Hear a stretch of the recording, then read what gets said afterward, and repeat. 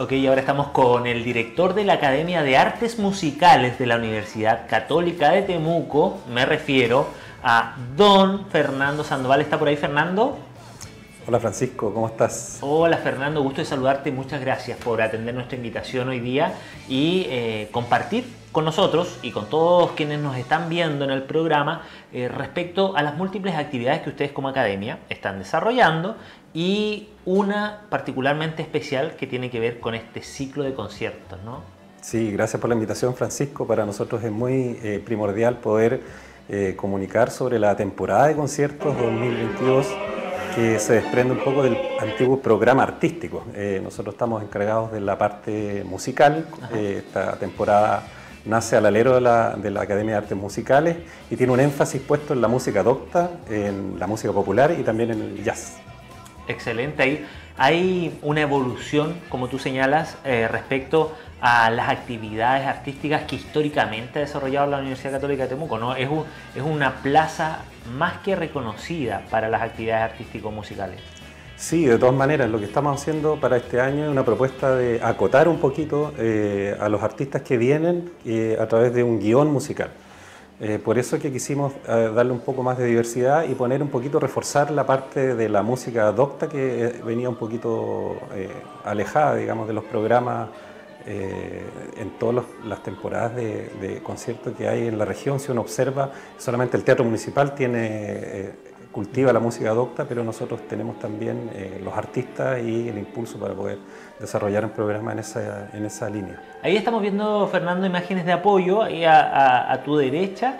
estamos viendo imágenes de apoyo justamente del primer concierto que desarrolló la Academia de Artes Musicales en el aula magna de la Católica de Temuco y cuéntanos cómo tú percibiste la reacción, también me imagino que siempre preocupado de la producción, de que todo funcione, pero e, es un momento importante, un hito relevante el desarrollar esto, ¿no? Sí, bueno, quisimos abrir la temporada eh, de conciertos con este gran concierto eh, sinfónico coral que citó alrededor de 80 músicos en escenario. O sea, tenemos em, la orquesta eh, y coro sinfónico de la Universidad Católica de Temuco, eh, en donde desarrollaron la obra Requiem de Mozart, eh, la misa de Requiem en re menor, ¿cierto? Em, y la, la, verdad es que la reacción del público fue tremenda.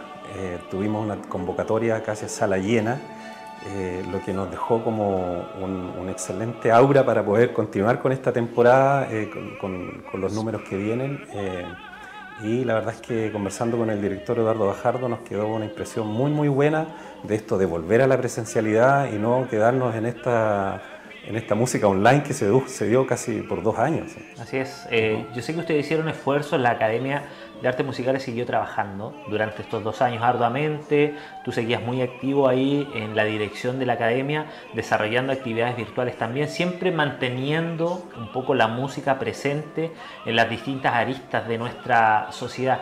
Pero justamente profundicemos en eso, la diferencia que hay de pasar de este escenario eh, de pandemia a una relativa normalidad? ¿Cómo, cómo, cómo se vivió en lo particular, Fernando?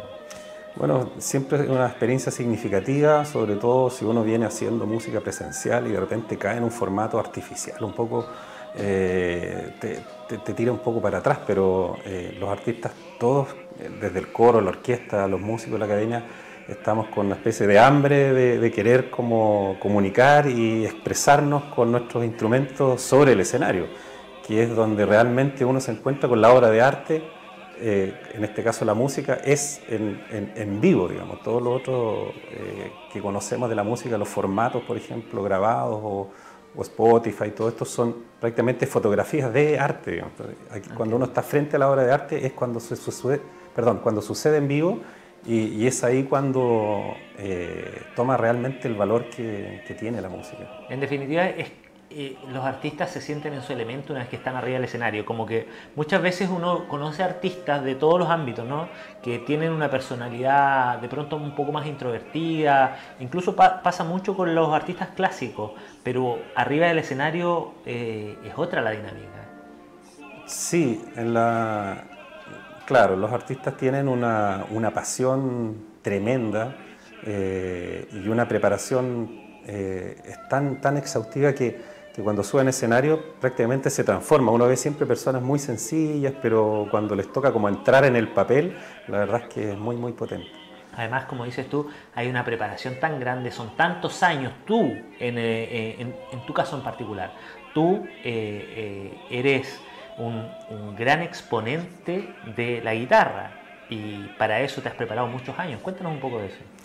Sí, bueno, llevo muchos años tocando la guitarra clásica. Yo estudié en la, Pontificia Universidad Católica y en la Universidad de Chile, en Santiago. Después me di unos viajes por Europa eh, y estuve mm, cultivando siempre el tema de la guitarra. Ahora cada vez poco menos por, estar a cargo de la dirección, pero em, la verdad es que es una pasión que llevo dentro de hace mucho tiempo y, la guitarra es un instrumento, la verdad es que fantástico, es tan latinoamericano como también tan español, de, representa tantas culturas del mundo que la verdad es que no me aburro nunca de, poder tocar. ¿Cuántos años? ¿Cuántos años eh, eh, de, cultivar eh, este arte, de también esta pasión? Porque me imagino que no sé, partiría tímidamente de pequeño? ¿Cómo surge este interés por la guitarra y, ya cómo lo profesionalizas?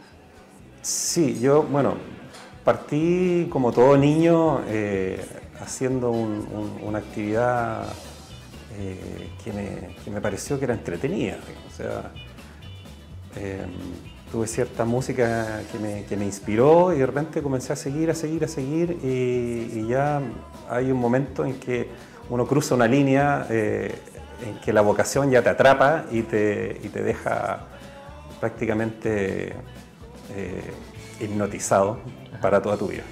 O sea, llegas, a un punto de no retorno. ¿no? Llega un punto, exactamente, un punto de no retorno en donde ya tú dices, esto es lo mío, esto es lo que quiero hacer. Eh, y, la verdad es que ha sido muy hermoso poder tener esta oportunidad de, tocar el instrumento. ¿Y cuántos años de la mano de la guitarra ya?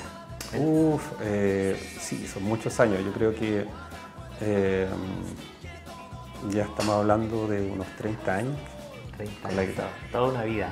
Oye, Fernando, es, es, bueno eso porque además tú como director de la Academia de Artes Musicales y como músico, además tienes esa sensibilidad necesaria también para comprender el entorno en el que se mueven ustedes y comprender a aquellas nuevas generaciones que tienen un, interés en particular, esa pasión que dices tú, que llevan dentro.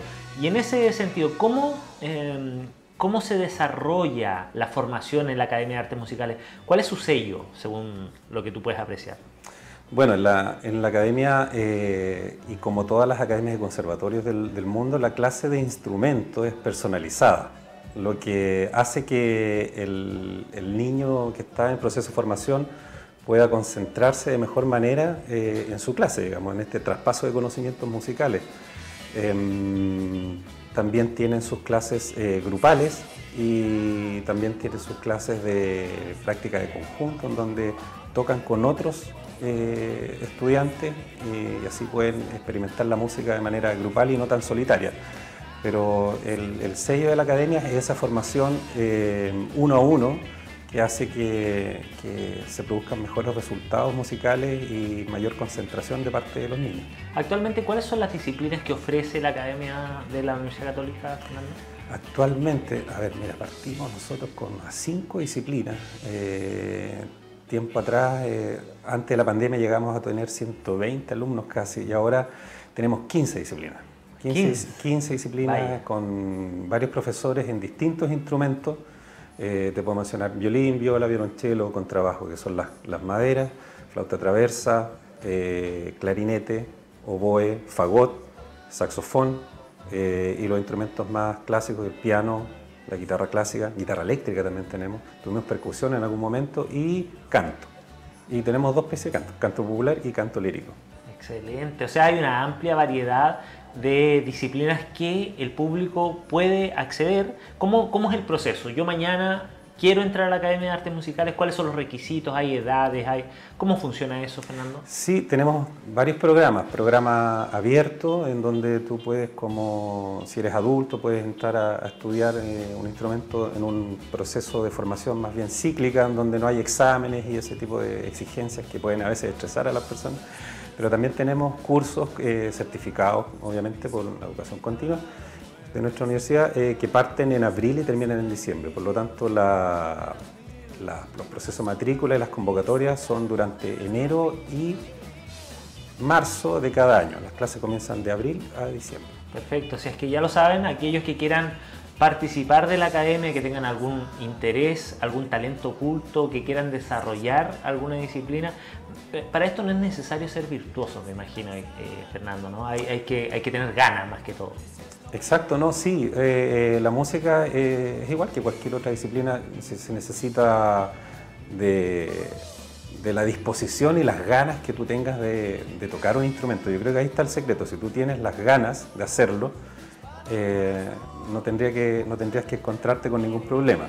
O sea, em, lo que sí se requiere es la disciplina, digamos, de no dejarlo, porque puedes hacer un trabajo, qué sé yo, estar muy entusiasmado un primer semestre y un segundo semestre desinflarte, como, se, como dicen los profesores, y no poder llegar a tu examen, digamos, de, fin de año. Pero no se necesita ser ni, ni virtuoso, ni tener un talento tan especial eh, tenemos nosotros cursos más bien diagnósticos en donde tú puedes darte, darte cuenta o tener un hijo, si quieres eh, escribir a un hijo en piano, a ver si es bueno para piano, eh, que es en la escuela de verano, que es abierta a la comunidad y es una escuela gratuita. Ahí es una situación de un mes diagnóstica en donde tú puedes ver si eres bueno para el violín o para la guitarra o para el canto, etc. Interesante. ¿Tienen ustedes algún sitio web o algún lugar donde la gente pueda acceder y tener más información respecto a lo que nos, nos has contado el día de hoy, Fernando? Sí, bueno, tenemos las redes sociales de, de la, de la Academia de Artes Musicales, eh, en Instagram, eh, nuestra fanpage de Facebook y también tenemos eh, un sitio web que está alojado en la universidad que está, eh, por ahora están realizando ese cambio, pero está abierto a que puedan eh, informarse de los cursos y lo que nosotros realmente hacemos en la Academia de Música. Entonces ya lo saben ahí en Facebook, en Academia de Artes Musicales de la UCT pueden encontrar información también en las redes sociales y en el mismo sitio web de la universidad en www.uct.cl o uctmuco.cl. Fernando, agradecerte la disposición el tiempo y gracias por compartirnos esta linda noticia de la temporada de conciertos que por supuesto eh, dejarte la pantalla para invitar a la comunidad porque entiendo que es abierto a todos, ¿no? Sí, eh, este año tendremos nombres muy interesantes dentro de la música en esas tres líneas que te comentaba. Viene Magdalena Matei, viene unos ciclos de piano también, eh, viene un trío de violinistas de músicos de Rusia, Bulgaria, eh, y también en este ciclo de piano se presenta un, gran pianista belga, eh, Jasper Paul, que improvisa con el piano temas de Violeta Parra y, y música realmente el mundo toca, toca demasiado. Así que va a estar muy interesante la temporada de conciertos y te agradezco por este espacio y la invitación, Francisco, a conversar sobre música. Para nosotros un gusto, siempre las puertas abiertas para ustedes, Fernando, para toda la universidad, por supuesto, eh, pero qué lindo que puedan acercar eh, eh, el mundo artístico a la comunidad en general. ¿Las entradas se pueden conseguir? ¿Es acceso liberado? ¿Cómo funciona eso? Sí, es acceso liberado, casi todas están programadas en el aula magna a las 19 horas y se pueden ir informando por nuestras redes sociales. Perfecto. Muchas gracias por acompañarnos, Fernando, y nos volveremos a encontrar seguramente en otros programas que ustedes están preparando por ahí, ¿no? Muchísimas gracias, Francisco. Nos vemos, gracias. Nos vemos.